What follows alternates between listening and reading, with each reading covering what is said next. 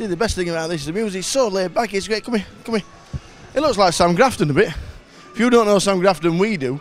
Sam Grafton looks a bit. Unless it's Timmy Mallett. What do you think? No? Right, there you go. uh, what's your name? What's your university? Uh, Stewart Broughton, Winchester. Are you playing today, tomorrow, or already been busted out? Already been busted out. Oh, go on and tell me how the table was. Tell me uh, what happened to your 15,000 chips. Uh, over pair against top set. All right, okay. All, all, all ends up going in. Yeah, pretty much. How many chips did we chuck in in that one single hand, or was it just about the lot? 7,000. I already Yeah. dwindled before that. Yeah. But I'll be back tomorrow. I'm going to say, well, is a chance of re-entering tomorrow. Are we doing that? yeah, I've already done it. nice. We've already re-entered for tomorrow. Uh, the rest of the day, what do we do? Cash games, anything.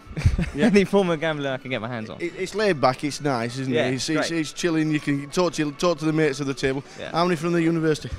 Uh, we're a very small uni, so right. with no funding, so we could only bring me and my mate who won the big game we had, Yeah. which pretty much sent us to here. All right. Okay. Is he still in? Yeah, he's sitting over there. All right. Cool. He's doing all right. Well, fingers crossed for tomorrow.